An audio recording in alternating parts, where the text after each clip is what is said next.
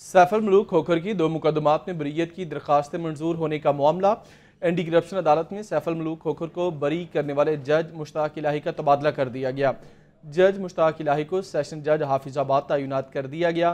सैफल मलूक खोखर की दो मुकदमात में बरीत की दरखास्त मंजूर होने का ये मामला है।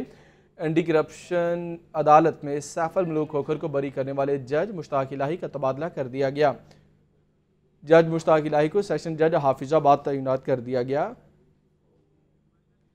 नुमान नूर से बात करेंगे। जी नुमान।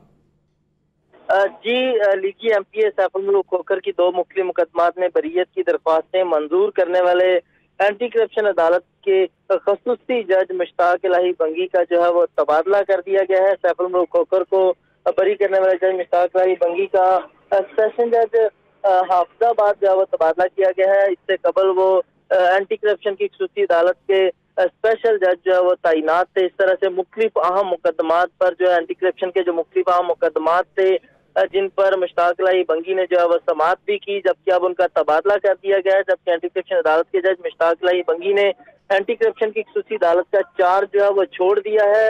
एंटी करप्शन अदालत के जज ने लीगी M P A Saiful Khokhar समेत दीगर मुलजमान की जमानतें और ब्रियत की दरख्वास्तों पर भी समाप्त की थी, और जबकि इससे कबल लीगी M P S Arun Khokar की दो मुख्य मुकदमा में बरीत की दरख्वास्तों पर फैसला किया गया था जिसमें शुक्रिया।